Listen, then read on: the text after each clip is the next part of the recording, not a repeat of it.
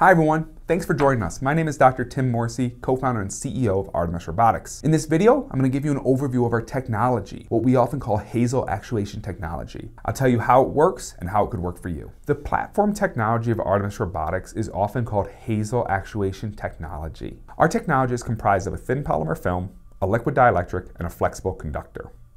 It operates by using a high voltage to induce an electric field across the liquid dielectric. This electric field influences localized pumping on that dielectric liquid, which drives a shape change of the pouch. This shape change is what drives our unique motion.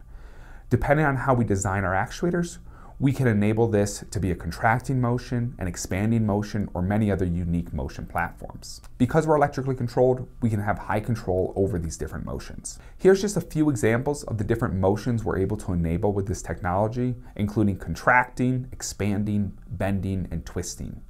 Our most common motions are our E series or expanding actuators, which can have over 100% strain, or our C series or contracting actuators, which can have about 12 or 15% strain. With that, I want to very much thank you for your time, and I hope to work with you in the future. Thank you.